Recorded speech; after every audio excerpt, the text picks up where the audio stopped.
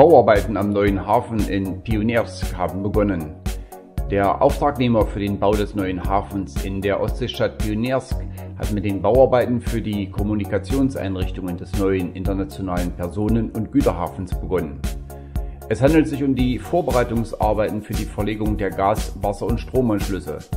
Hierzu gehört nicht nur die Verlegung der entsprechenden Kabel und Röhren, sondern auch der Bau von Pump- und Auffangstationen.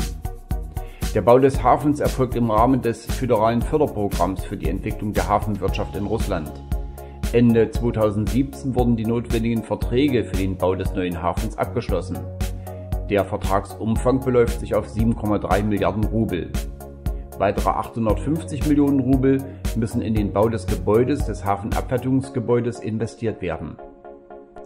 Das Projekt wurde durch die russische Firma Morstroy Technologia entwickelt. Es werden Anlegestellen für große Kreuzfahrtschiffe und Fähren errichtet. Die Mindestkapazität des Hafens beträgt 250.000 Passagiere im Jahr und 80.000 Gütertechnikeinheiten. Im Hafen wird es eine Grenz- und Zollabfertigung geben, sowie die gesamte notwendige Infrastruktur wie Restaurants, Duty-Free-Shops und Wartesäle.